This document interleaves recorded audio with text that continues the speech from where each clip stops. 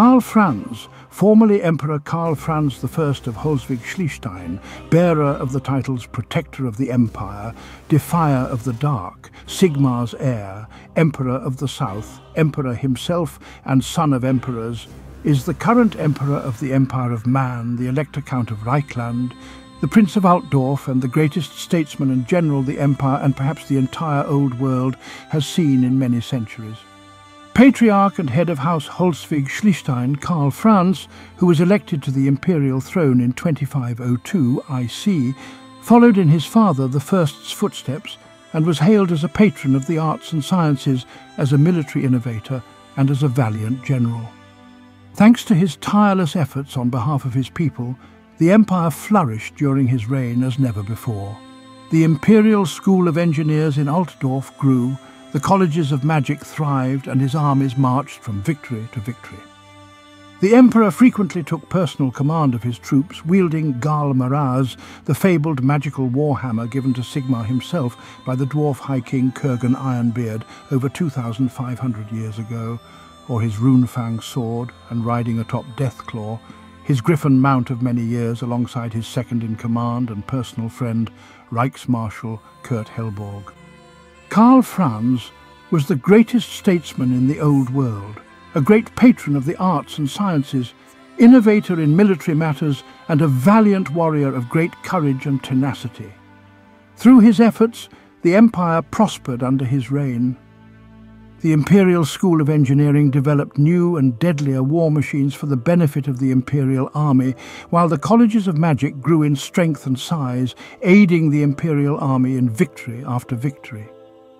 Karl Franz showed more skill and character than even the greatest of his predecessors, and he kept his promise to establish a strong government under a just and moral standing. Under his guidance, he skillfully managed to maneuver around the cults of Sigmar and Ulric in their attempts to win his favour. When a crisis arose between the Elector Counts of Stirland and the Elector Counts of Talabecland over a dispute that dated back to the time of the three emperors, other elector counts waited anxiously to see which side Karl Franz would support in an event that would decide the outcome of both parties. The emperor, however, would have none of it, and decided to go to Talabheim to negotiate peace terms between the two factions. His talents as a spokesman with tremendous patience were put to the test to solve the issue, but the two rivals finally gave in to his terms and the civil war was avoided by his political genius. Other similar conflicts such as this had since been resolved by the intervention of Karl Franz, his position strengthened by the reassuring and imposing presence of Ludwig Schwarzhelm himself. The mere sight of the personal champion of the Emperor's sword of justice was enough to make the other elector counts far more accommodating and cooperative than they would have been. From what historians and scholars could understand, Karl Franz used a political tactic that would ensure that the agreement would be mutually acceptable by both parties. With his superior understanding of current politics, the emperor won many victories by giving the people not what they wanted, but what they did not want the others to have. By using this clever political tactic, he managed to convince the merchant guilds of Altdorf to sign the famous Convention of the Stink Act in 2506 IC from which they were required to pay huge fines and exorbitant fees, not because they believed in the concept of a cleaner Altdorf, but because they hoped that this agreement would ruin their rivals' own finances.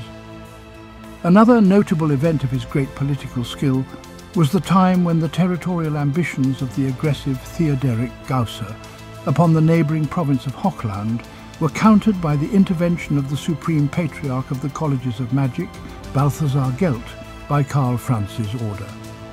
Balthasar travelled to the capital city of Salzenmund, the home of Count Theodoric, as an ambassador of the Emperor, hoping to dissuade the Elector Count's ambitious dream of expanding his territories. Thanks to the Supreme Patriarch's magical powers of the Winds of Chamon, Balthasar secretly transmuted the gold used for the mercenaries under the Count's employ into lead. Without the gold to finance his expedition, his army would not march with him, forcing Theodoric to relinquish his claims to the lands of Hochland. However, once he discovered what had happened, Theodoric unsheathed his powerful Runefang crow feeder, determined to behead the sorcerer for what he had done to his precious gold. But the sorcerer was never found, for he had quickly fled the Nordland capital on his Pegasus after finalizing his work in the Nordland treasury. For the longest time, the emperor presented the facade of chastity and disattachment in order to keep the electors hopeful for a dynastic match. Rumours claimed that he had an affair with the niece of Archlector Aglim or Duchess Elise. In fact, Despite not being officially married, the emperor had two children with his distant cousin and childhood friend, Maria Louise von Walfen, Luitpold and Alia. Luitpold was legitimized and made into the heir as the Prince of Altdorf, while his daughter Alia was officially legitimized following his marriage with Maria Louise after the turmoil, and made into his heir as the Elector Countess of Reikland. There were also rumours that Voland was none other than the bastard son of the Emperor. Voland himself never sought to affirm or contradict any of these tales, which consequently grew even more elaborate and unlikely over the years. Karl Franz is bestowed by his title as Emperor with some of the most powerful magical weapons and armour in the Old World. Although his greatest strength is masterful statesmanship, Karl Franz is nonetheless a formidable warrior. He often leads troops directly in battle, whether on horseback amongst the Reiksguard or atop his loyal griffin Deathclaw. The election of Karl Franz. Karl Franz of House Holswig-Schliestein was born the only son of Emperor Luitpold I and his wife. In 2470 IC, when he was still a babe, he accompanied his mother, father and sister Isabella along with the imperial retinue as they travelled the Drakwald forest, being forced to stay at an inn 15 miles from the capital of Altdorf. That night, the inn was attacked by a group of beastmen who, despite the efforts of the Reiksguard and the Reichskaptain Kurt Helborg, came close to slaying the imperial family. However, they were saved by the timely intervention of a group of wood elves who slew the approaching beastmen. One of the wood elves asked Helborg to speak with the imperial family, who agreed. The elf showed no care for the Emperor's gratitude and fixed his emerald eyes on the baby held by his mother.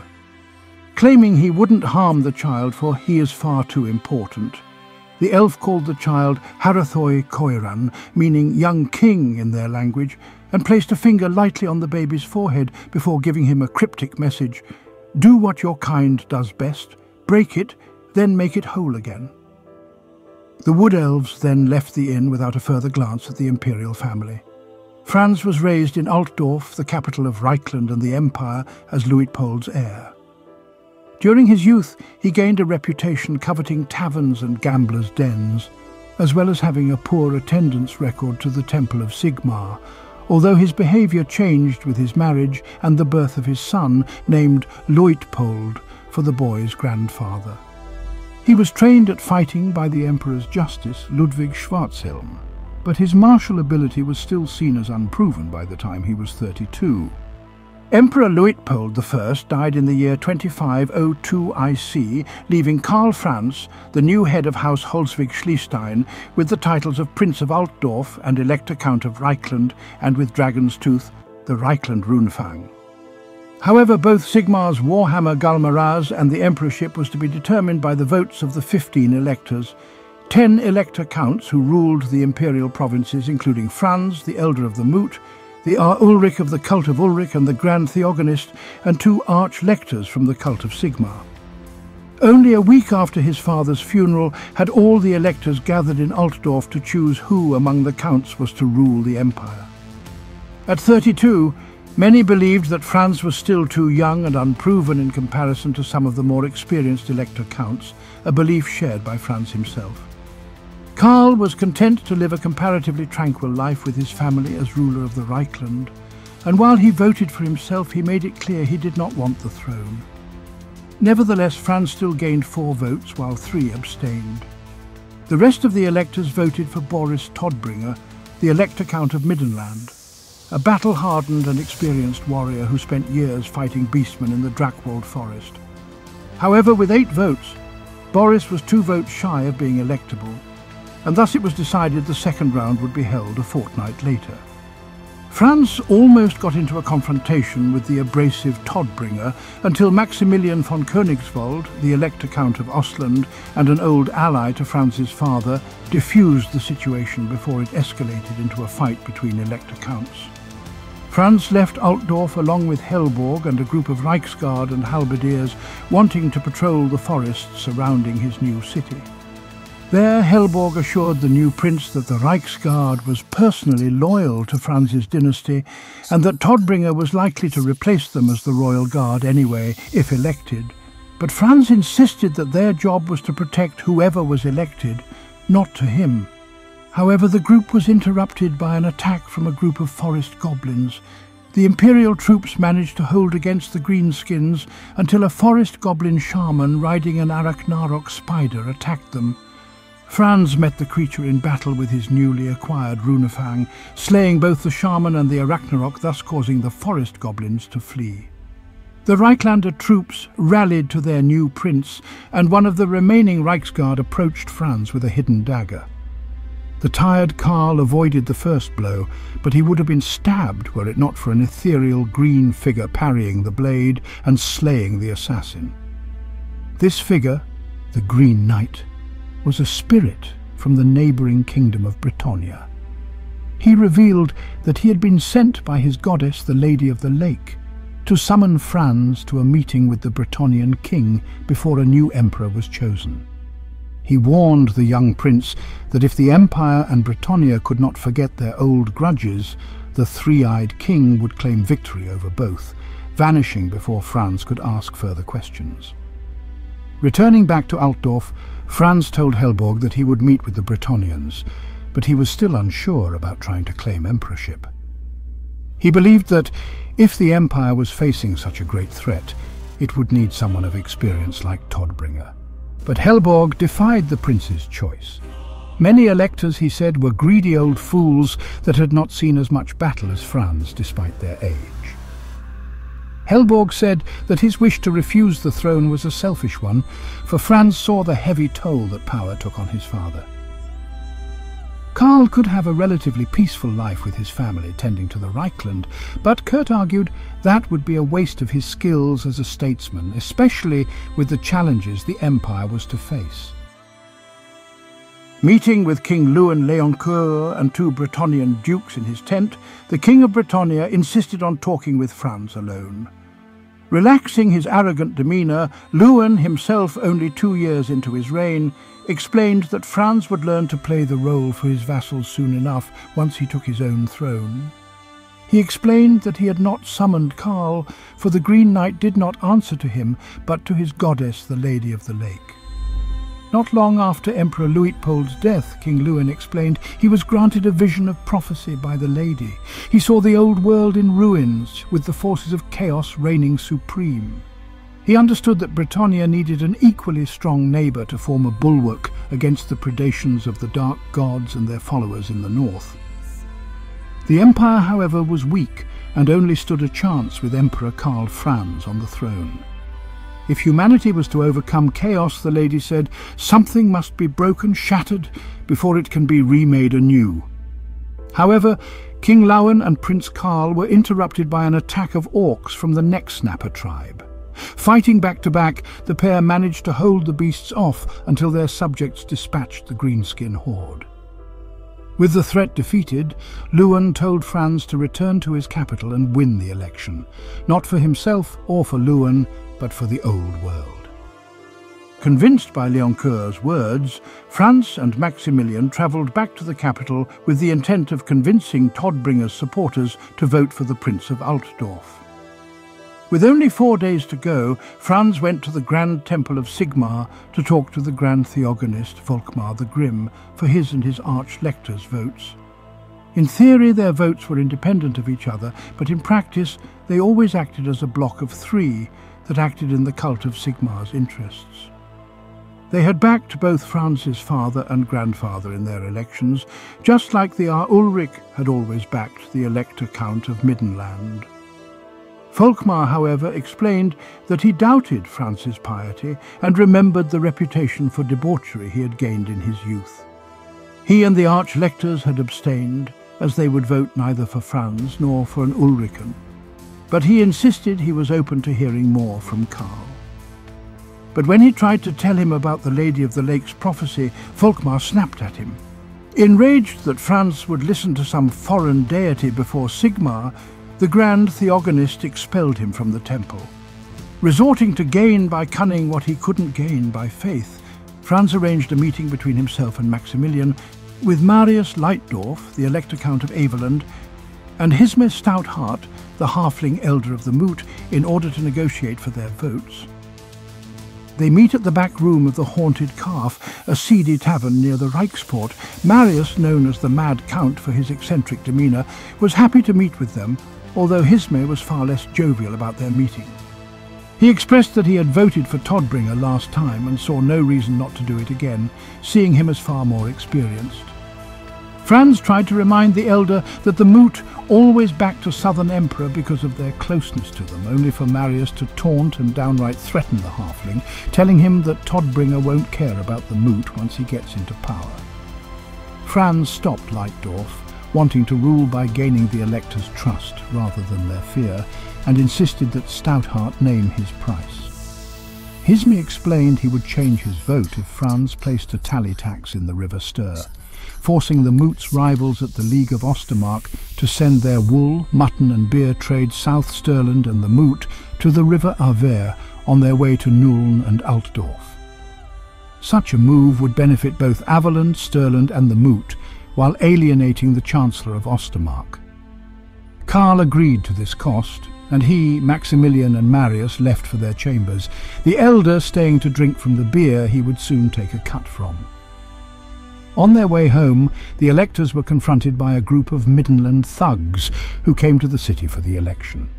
Marius responded with glee and attacked them first, shocking their attackers, though he was almost killed but for Franz's help, all while Maximilian ran to call the city watch.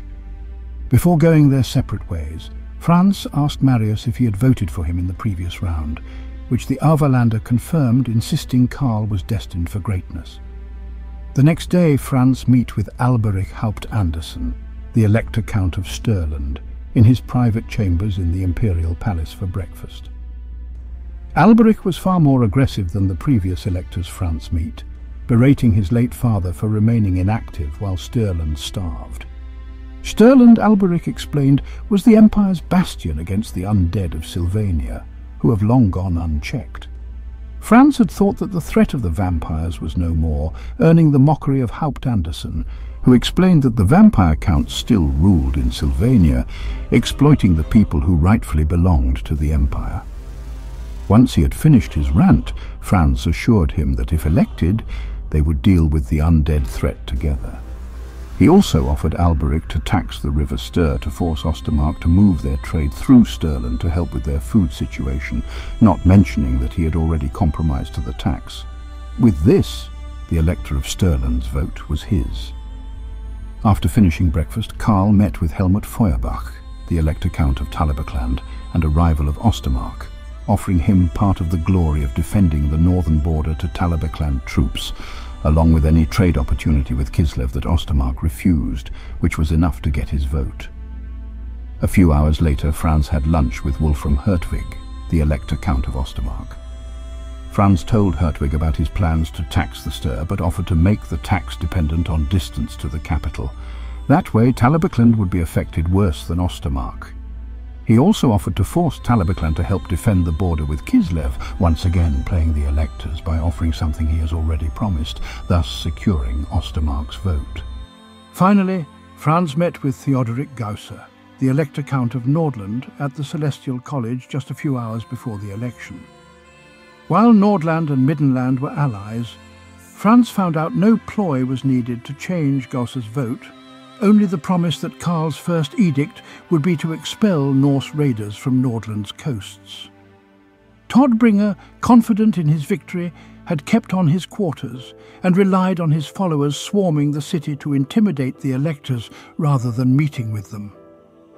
The two of them made their way back to the palace when they came across a confrontation between Sigmarite and Ulrican mobs outside the Temple of Sigmar. Determined to stop them, Franz made his way to the middle of the crowd where, seeing their faces full of desperation and fear, all doubt that his duty was to be emperor was gone.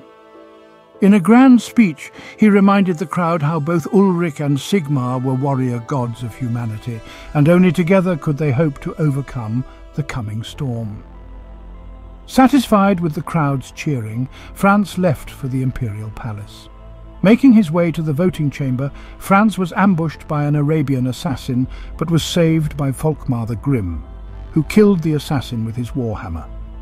Unmasking his assailant, Franz recognized a mark on his neck which the Grand Theogonist identified as the mark of the Chaos god Tzeentch, the Great Deceiver.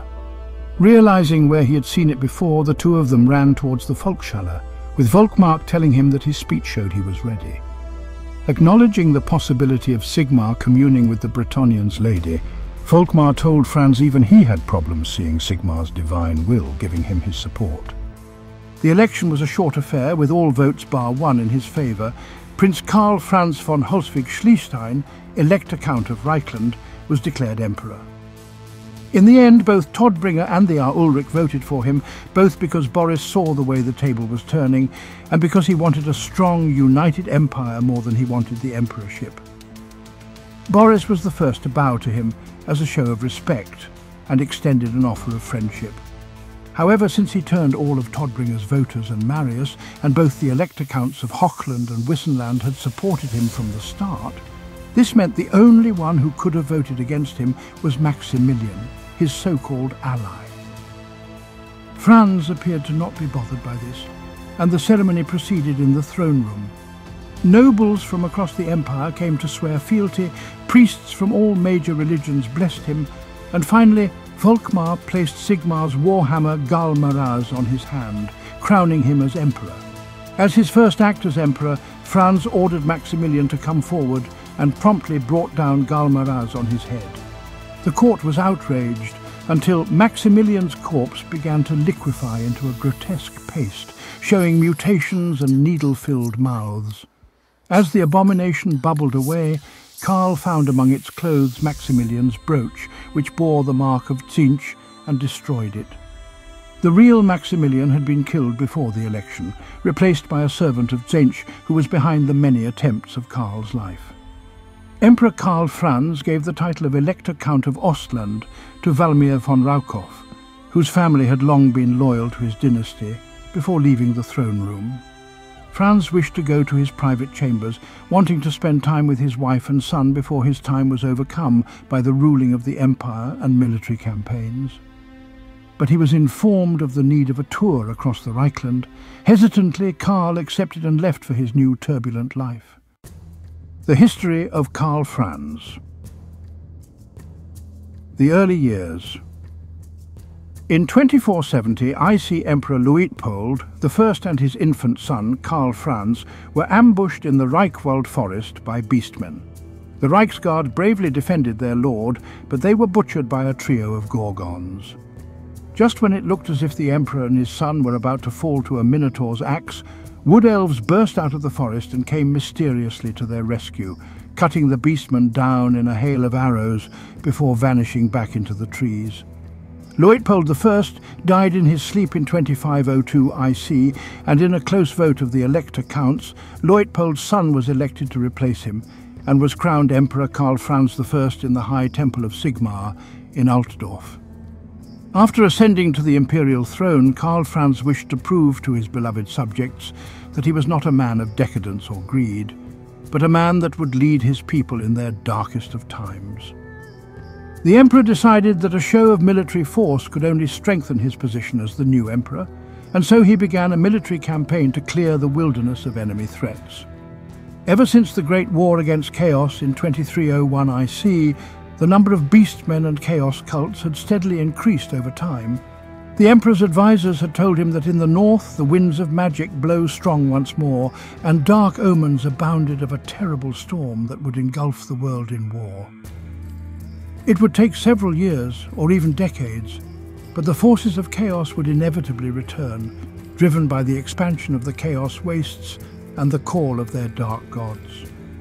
This resulted in a steady increase in Norse raids along the Empire's coastlines and the northern border, growing bolder and ever more numerous with each passing day, creating fear and havoc amongst the many towns and fishing villages along the coast of the province of Nordland. In response, the first act Karl Franz took as the new emperor was to march his way north at the head of a massive imperial army and reinforce the armies of Elector Count Theodoric Gausser. None of his generals or advisers had any way to predict when or where the Norse would strike next, and so he had to rely on his cadre of powerful celestial wizards to aid him in his planning, whose members possessed the mystical ability to foretell the future by observing the heavens.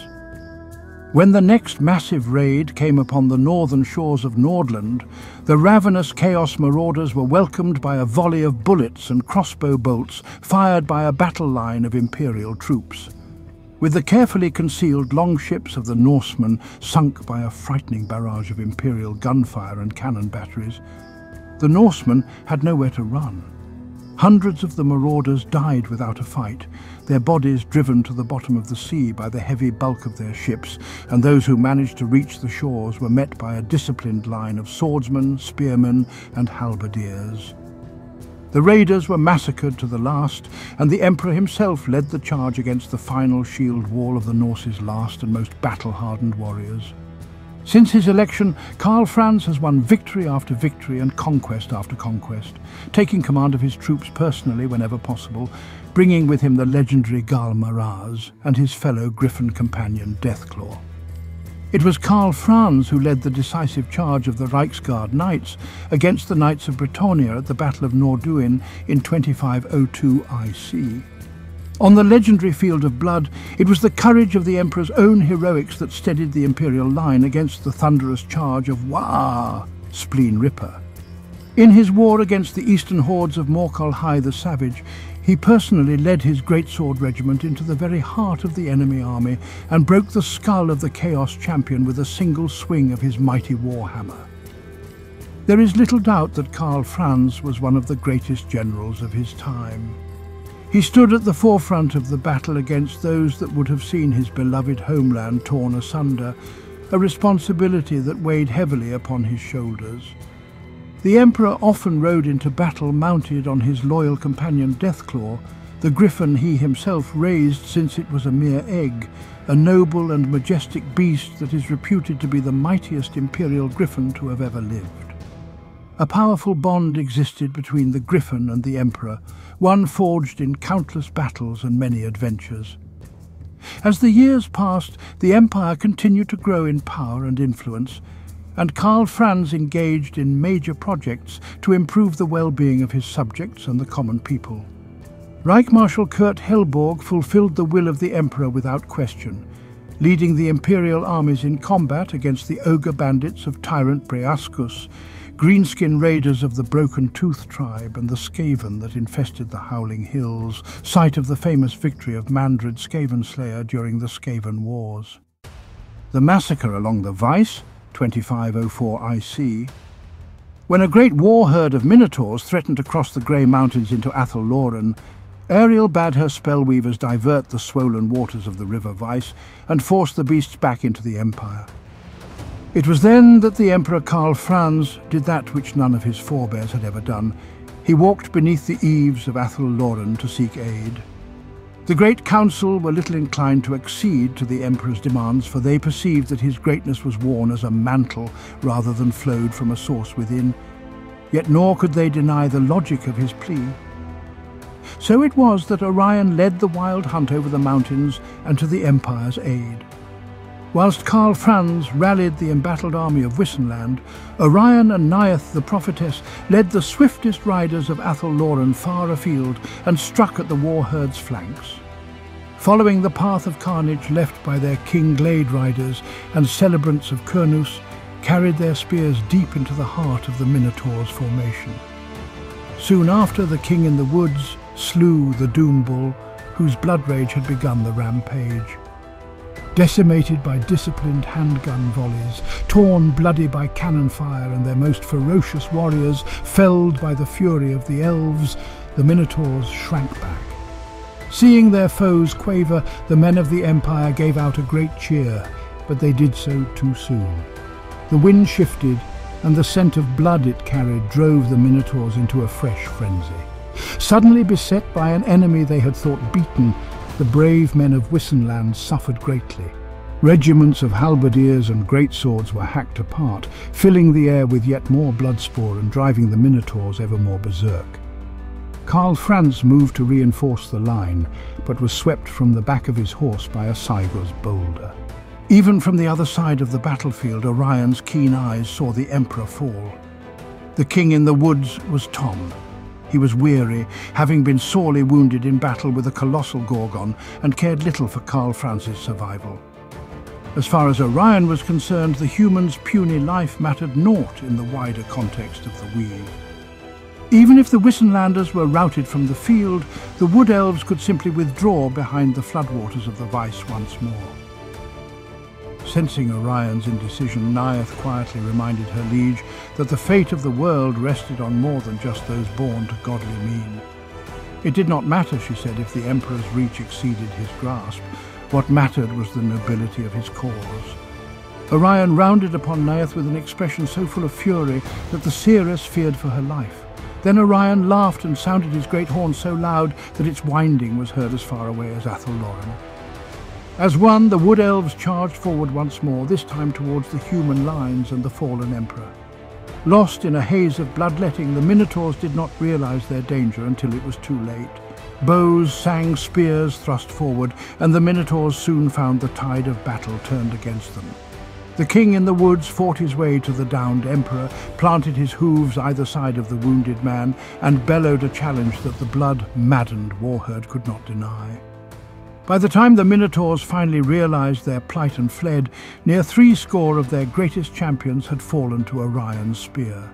The king in the woods had been sorely wounded in exchange, his godly ichor flowed freely from a dozen ragged wounds. But Karl Franz had not suffered so much as a single blow during the hours in which Orion had stood guard over his unconscious form. Not that the Emperor had any opportunity to thank his rescuer, for as soon as it was clear the Minotaurs had no stomach for further battle, the elves retrieved their dead and left the field. A month later, an emissary from Athel Loren was admitted to the palace of Altdorf. He gave no name, but delivered both a gift and a message. The gift was a single griffin egg retrieved, said the emissary, from the highest peak in the Grey Mountains. The message was simple, brought in friendship, but ominous nonetheless. We will be watching. The Königswald Affair, 2505 IC. After the death of Elector Maximilian von Königswald, Karl Franz came personally to the estate of the Königswalds to express his condolences to young Oswald, Maximilian's heir. The emperor reminisced that it was thanks to Maximilian that the original vote of 8 to 4 against him had been overturned into support from all electors save one. He also told Oswald that he was like a father to his own son, Luitpold, and that he would gladly come to the play of his friend's great victory over Constant Drachenfels, the great enchanter. Taking the imperial court with him, the emperor enjoyed time in the field, with friends and family around him, and ignored warning signs, such a dream of his son Luitpold with levitating monks that warned him to not come to Castle Drachenfels as fancies. As he watched the play, he came to realize that the events displayed there were far too realistic to be the work of mere threater, and sought to leave, but was hindered by Oswald, who forced him at knife point to remain. As Oswald von Königswald saw his plan to resurrect the great enchanter foiled by Detlef Sierck, he cut Karl Franz's throat and sought to flee, but was slain. The emperor survived, but could only speak in a whisper for a few months.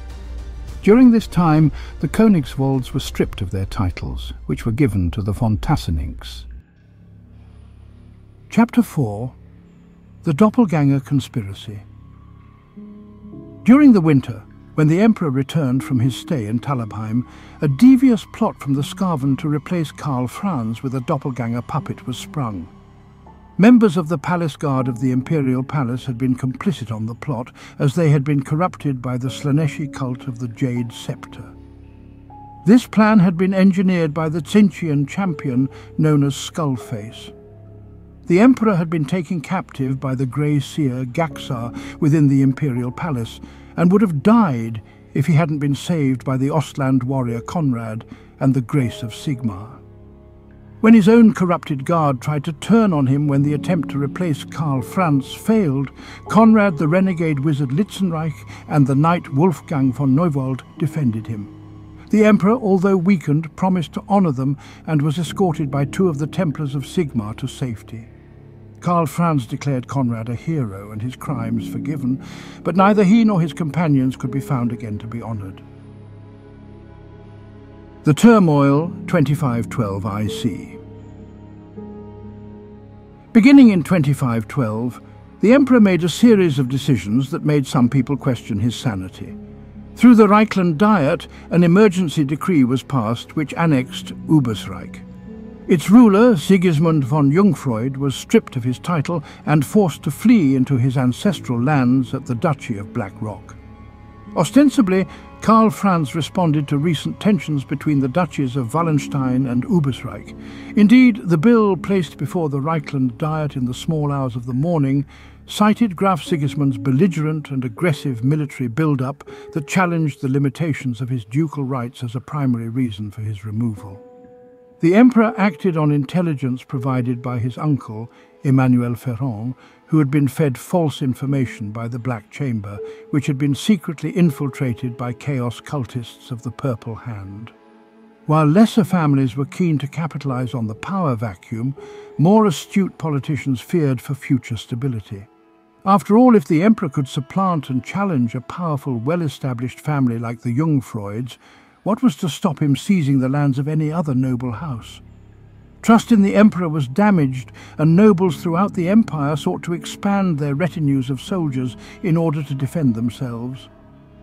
At the same time, the emperor began to suffer from a mysterious ailment that bound him to his bed and kept him ill and disoriented. A double was needed to keep the appearance of strength.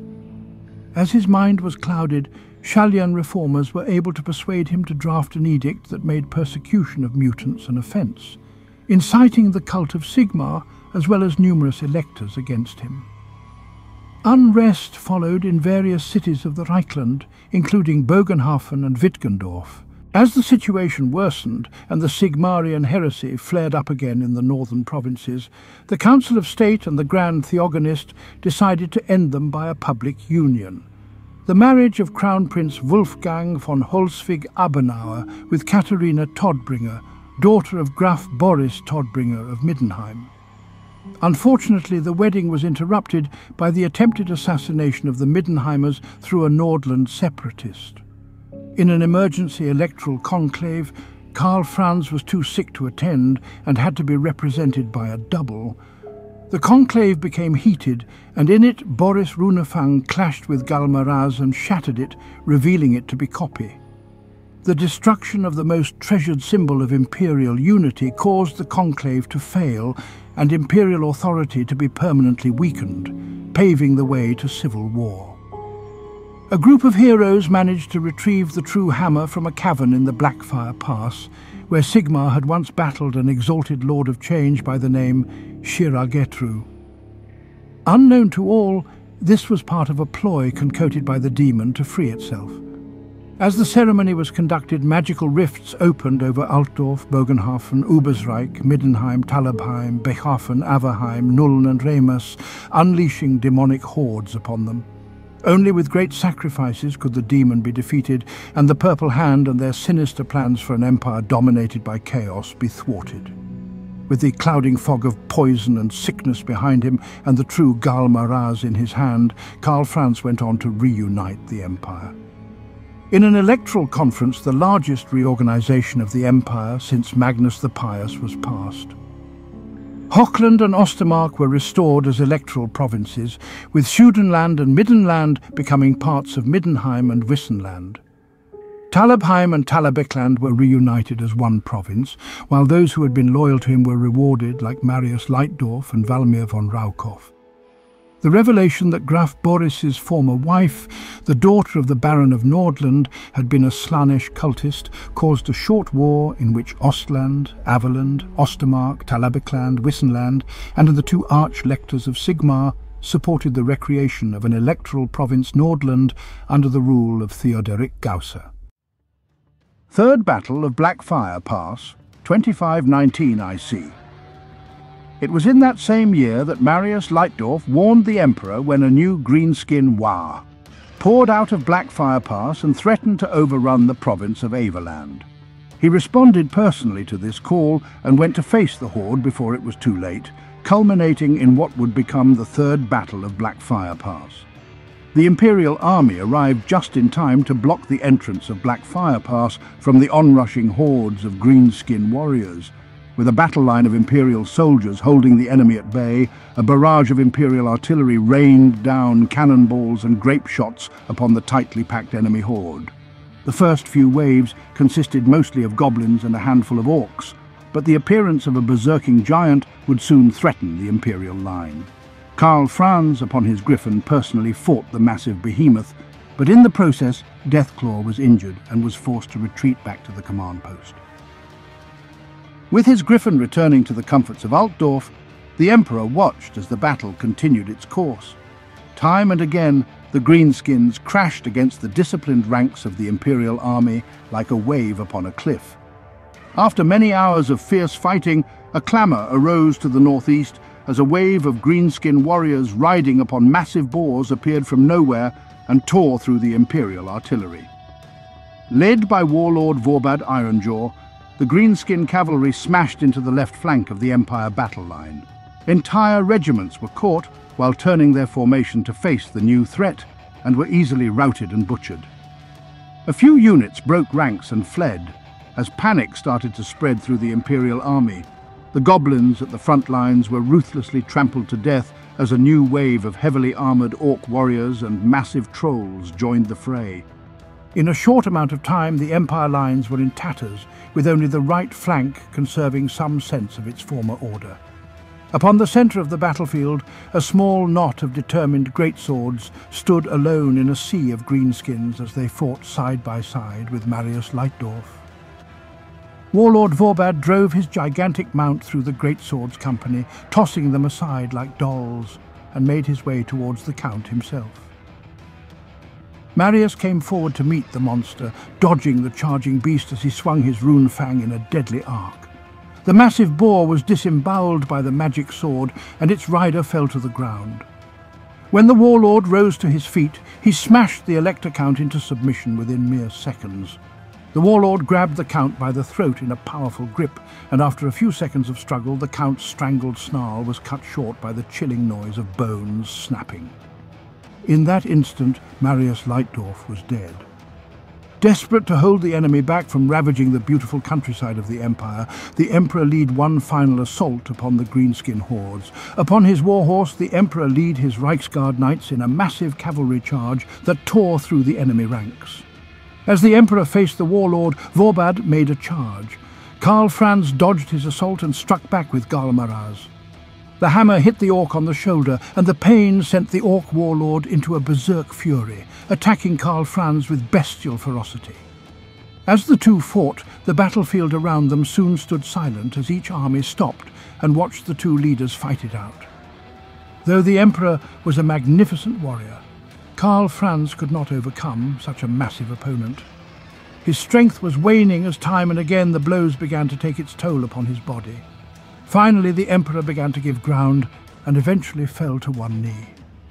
At that sight, a cry of pain came from the Empire troops. Tasting victory, the warlord savoured the moment before he prepared to deliver the killing blow. Karl Franz was overwhelmed with pain, but in his heart he wished to continue, for should he have fallen that day, the lands of the Empire would be ravaged by war, plundered and its people murdered. Deep down in his heart, he prayed for deliverance, for the strength to overcome his foe just like Sigmar had done all those centuries ago. His silent prayer was sincere and was not ignored. In that instant, a blinding aura shimmered around the Emperor's body as the hammer glowed with a fierce golden light. All of a sudden his pain was gone.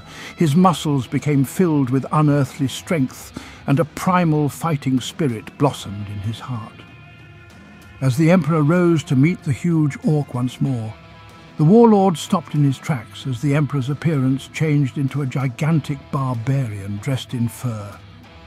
The man shouted a loud battle cry that boomed amongst the mountains as it had done so all those centuries ago.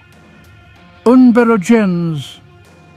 At that sound, the instincts of the warlord were overcome by memories inscribed in the soul of his race. Memories of mighty barbarians defeating the orcs in a war for the dominion of the rich plains and driving them to the desolation beyond the mountains.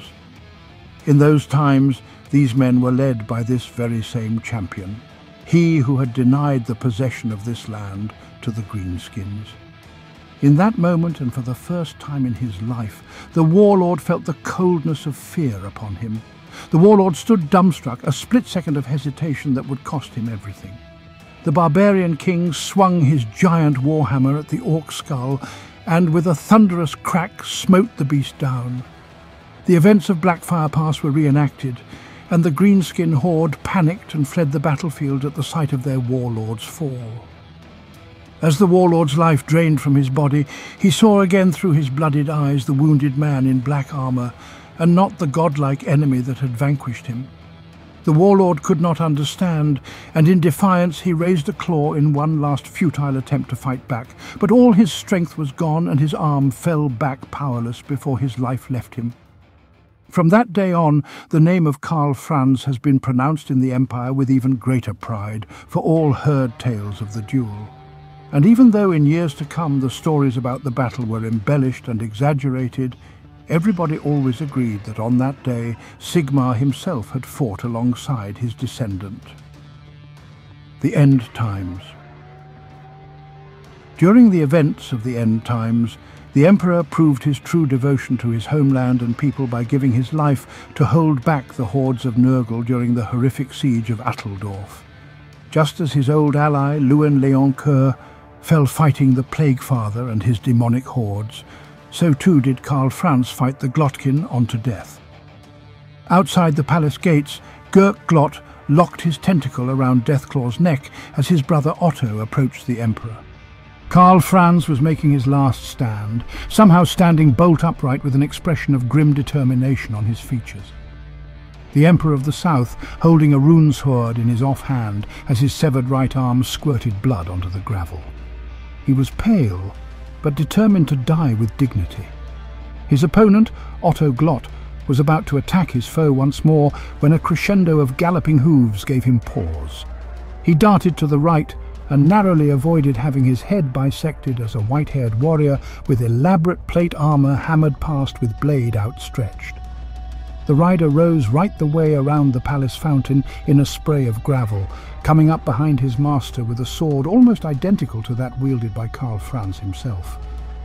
The Emperor did not take his eyes from Otto Glott, even as the warlord's giant brother fought to suppress the manic struggles of Deathclaw. Karl Franz's voice was steely under the pain as he greeted the Reiksmarshal who had galloped to his side. The mustachioed officer also eyed Otto with wary contempt.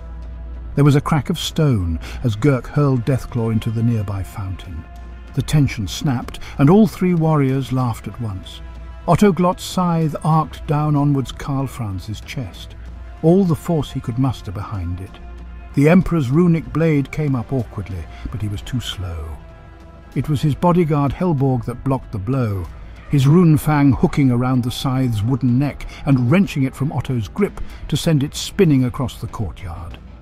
Growling, Otto whipped out the rusted sword at his waist before backhanding Helborg with such force that the Reiksmarshal stumbled to the ground.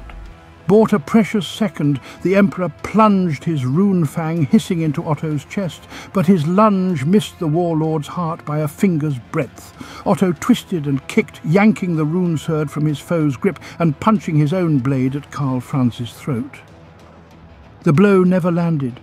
Helborg's hand grabbed the blade tight, blood seeping from his grip as the Emperor staggered back. Otto simply ripped the rusted blade free, severing three of the Reiksmarshal's fingers before lunging forward. The tip of the filthy sword punched into Helborg's eye socket with such force that it smashed out the back of his skull. Helborg stuttered out a plea for forgiveness in the name of Sigmar before his corpse slid from the rusted blade onto the floor. Laughing, Otto rounded on the one-armed, swordless emperor, spinning the stolen runefang up in the air in an arrogant display of swordsmanship. With Deathclaw pinned in the fountain by his immense bulk, Ghurk also turned to loom over the southern lord. Lightning flashed overhead as Otto raised his stolen runefang and swung it down with a roar of triumph. A thunderclap boomed high above as Karl Franz raised his good arm to deflect the blow. The blade severed it without slowing and plunged deep into the Emperor's chest. The world seemed to freeze in fear for a brief second. Karl Franz sank to the flagstones with the Glottkin triumphant above him. With his final breath, the Emperor called for his god one last time, and the world was changed forever. At that moment, the searing twin-tailed comet that was souring the sky overhead smashed onto the lifeless body of the Emperor, and from the impact an aura of blinding light was unleashed that saw the eradication of the unholy taint that had plagued the besieged city. From the light burst forth a tall, powerful man wielding an ancient crackling warhammer, and with a mighty swing of his weapon, Sigmar struck the Glottkin brothers and sent them back to the realm of chaos, never to return.